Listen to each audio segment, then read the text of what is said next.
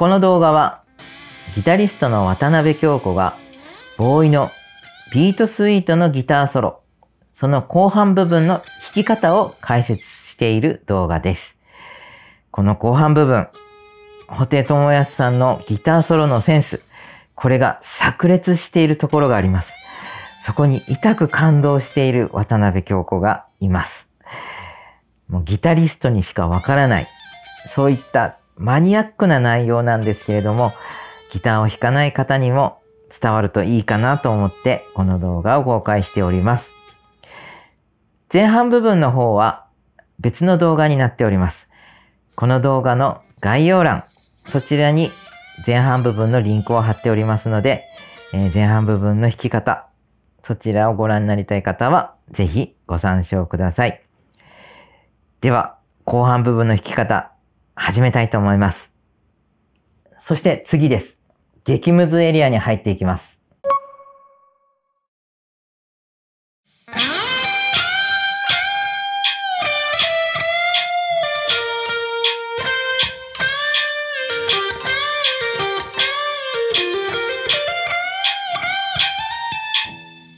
ポイントは、ここでも3拍目の裏から入るっていうイメージなんですよね。1、2、3。という風に入る感じなんですけど、今回の楽譜では4拍目で入るように書いてます。1、2、3。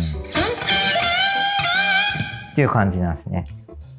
もうこれラストギグスの、えー、弾き方としてこうなってる。多分、ここから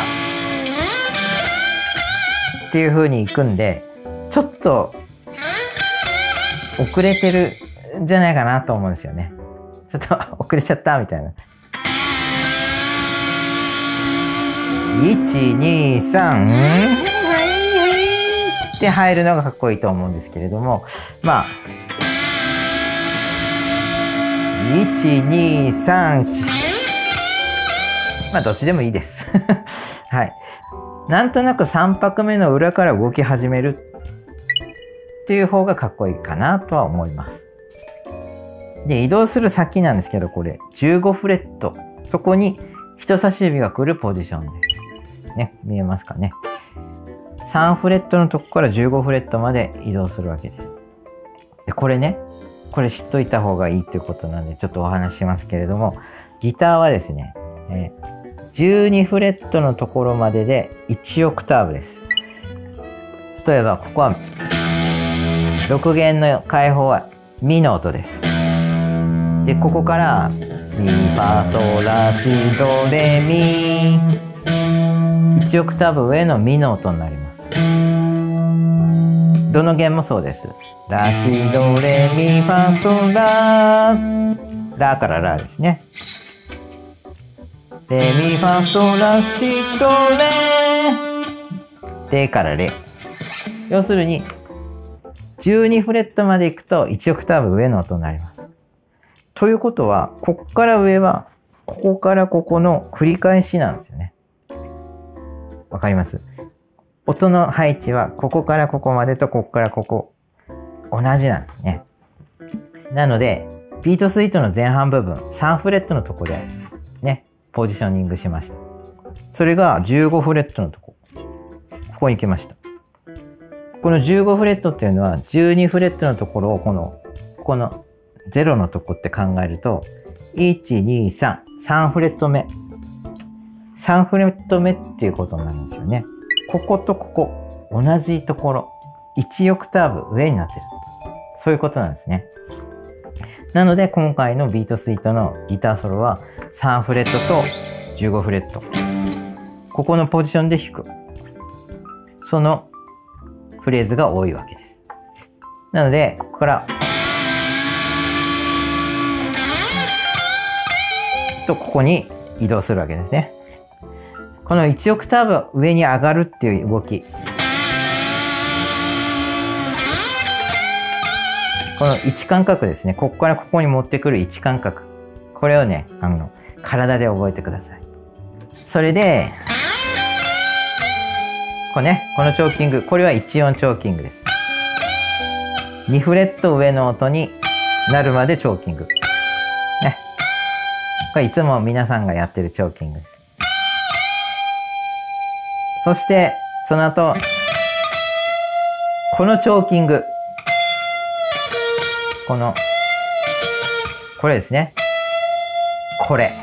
この音なんですけど、あれこれ一音が上が上がってないよね。上げ、上がってないよね。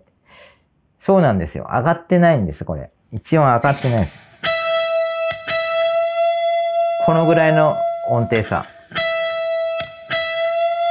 このぐらいです。あ、半音？半音ですか？半音でもないんです。半音だったら、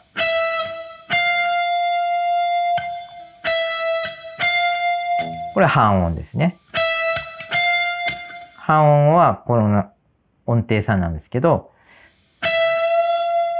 このぐらい。これクォーターチョーキングって呼んだりしますけれども、もう半音にも満たない音程。ね。ちょっと上げるみたいな。こんぐらいの。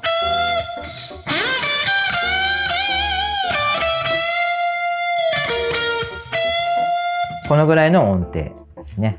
これが上がっちゃうと、ね、かっこ悪いですよね。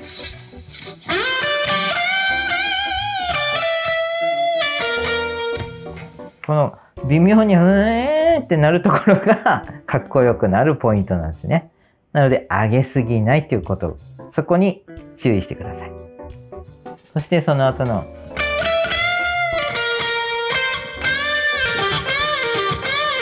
これね。これ。これなんか前やったなーってね、もうずっとこの動画ね、このチャンネル見てくださってる皆さん、なんか前やったよなーって思いました？あそうそう、それです。あの、ドリーミンのミーレド。これと一緒です。そして最後に4弦の17フレット。こういうことね。ミーレド、んってね、ミーレドじゃないんですけどね。これは、ソファミドっていう音程なんですけど、ミはちょっとフラットなんですけどね。ソファミド、見えるかな？見えるかな？これね。こういう音程ですね。ソファミド。こういう音程です。このソーファミド、これね、ドリーミーのミーレドと一緒です。ミーレドってここの、一緒です、一緒です。これを、こういう感じでね。こういう感じで弾きます。で、問題はこの後ですよね。この後が激ムズポイントですよね。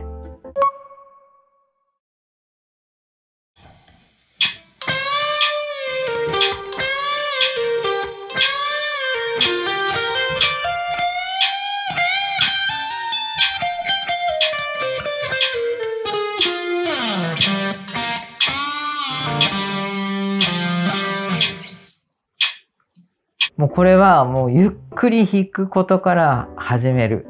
そういった練習しかないです。もうこういう速いフレーズはいきなり速くは弾けませんので、あの、ゆっくりから始める。で、メトロノームを使ってほしいなと思うんですよ。メトロノームね、こう、カチカチ言う機械です。もうスマホで、見えるかな？スマホ、見える？このスマホで、ソフトでね、あの、アプリか、アプリで無料でダウンロードできますから、まあ、そういうメトロノームを使って練習してほしいなと。で今、えーえ、BPM60 カッチ。カッチ。カッチ。こんぐらいのスピードで。で BPM60 ぐらいで弾くと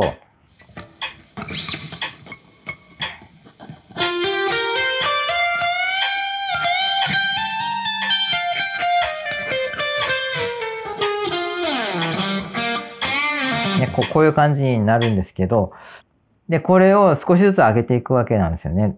60で弾いたら65。うん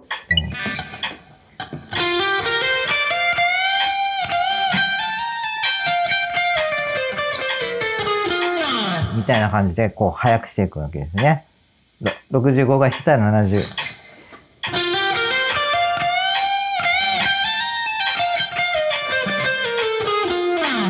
みたいな感じで、ちょっと速くしていくと。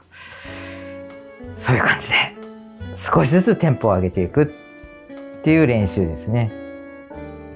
で、ここで使われてる音がですね、あの、激アツポイントなんですよ、実は。あの、この音使わないだろうっていう音を布袋さん使ってるんですよ。どこの音かっていうとこの音。こうね。この辺まではまあ、普通あるんですよね。この辺まではあるんだけど、これもまだあるんだけど、この音、これ。この音をね、この、とっさに鳴らしてるっていう、あの、かえってこれがかっこよくなってるんですけど、この、ふ、普段なら、この、普通のギタリストならこの音鳴らさないんだろうっていう音なんですけど、これが鳴ってることでなんかちょっと、かっこよく感じるんですよね。ね、この、この、え、あうん、みたいな感じでね、この、これがまたかっこいいなっていうところなんですよね。まあ、ここね、ゆっくりから練習していってみてください。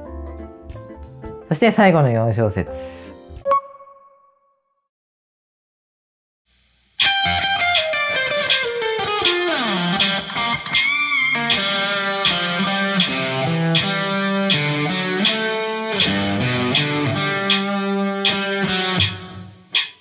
ここのポイントは、ピッキングハーモニクスですね。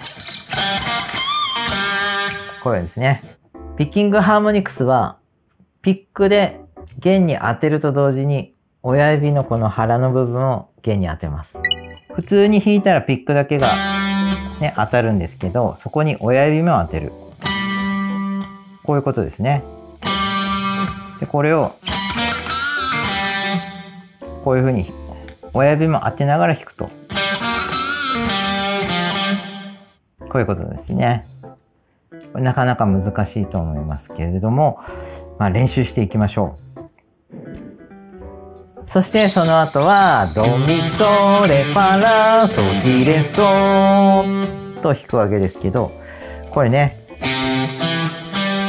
これ布袋さんよくやります。これは音楽用語で、1度、3度、5度っていう風に呼ぶんですけど、ドミソ、ね。これね、固定さんよく使うんですよ。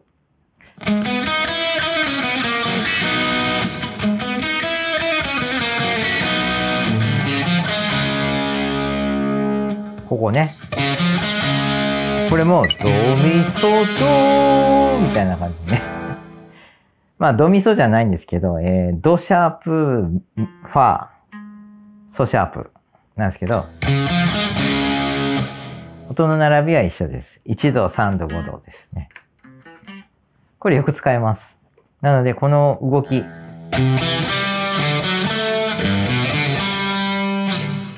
これ覚えておくといいと思います。はい。ビートスイートのギターソロ、えー、一通りお話しいたしましたが、いかがだったでしょうか？まあ、ところどころね、難しいとこありますよね。えー、これ、なかなか初心者の方にはちょっと難しいかなと思いますけど、最初にお話しした通り、あの、少しずつね、基礎テクニックのところを少しずつ練習していって、えー、自分のこう引き出しにしていくんですよね、自分のこう。いろんな曲の、こういうとこからつまみ食い、こういうとこからつまみ食いして、自分の引き出しをいっぱい作っていく。で、それで、その引き出しから、あ、この手癖みたいにね、こう、これできる、これできるっていろんなものができてきて、いろんなギターソロが弾けるようになりますんで、ぜひ、えー、少しずつ練習していってほしいなと思います。そしてね、こう全部弾けるようになったね、なったよっていう方ね、ぜひコメントでね、その喜びを書き込んでいただければなと思います。私も一緒に喜びたいと思います。ぜひぜひコメント欄に書き込んでくださいね。このチャンネルでは、独学の初心者の皆さんに、独学ではなかなか気づけないギターのテクニックだったり練習方法、これを楽しく毎週お伝えしております。これからも動画投稿いたしますので、えー、これ、チャンネル登録よろしくお願いします。最後までご視聴ありがとうございました。皆様のギターライフが素晴らしいものとなりますように。ではまた次回。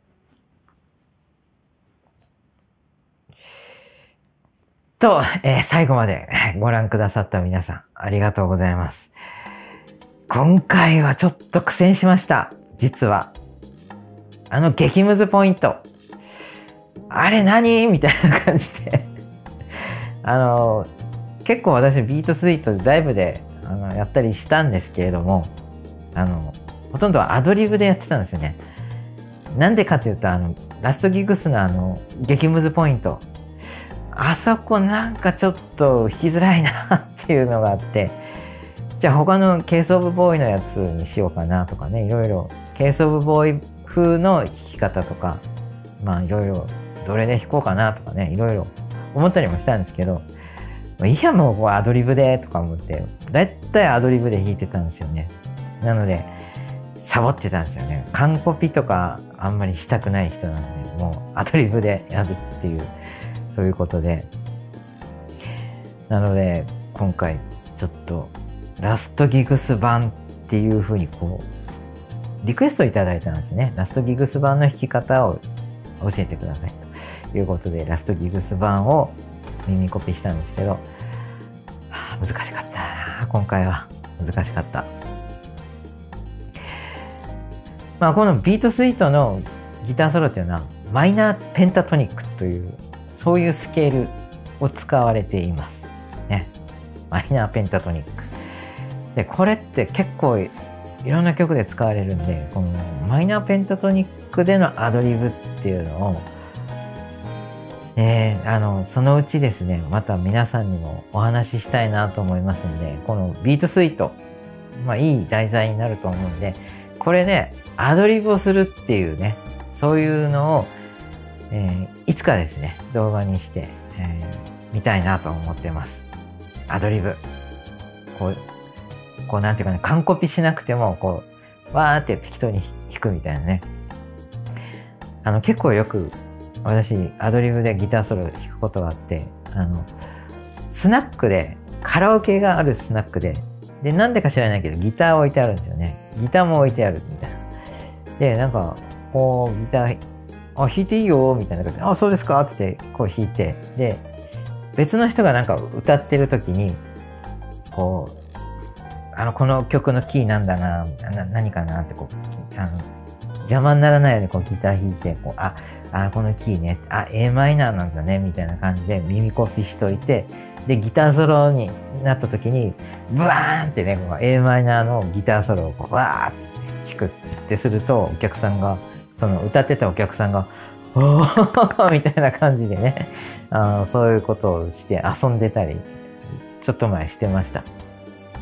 まあそういうことがね、アドリブソロができると、あの、すごく楽しくなるんで、そのアドリブの話とかもですね、いつかしたいなと思ってます。ということで、えー、今回はね、ほんとビートスイート、えー、最後までご覧いただいてありがとうございました。またね、あの、次回、今度は何のギターソロかな。まあ、リクエストいただいてるんで、あの、またやっていきたいと思います。最後までご視聴ありがとうございました。またお会いしましょう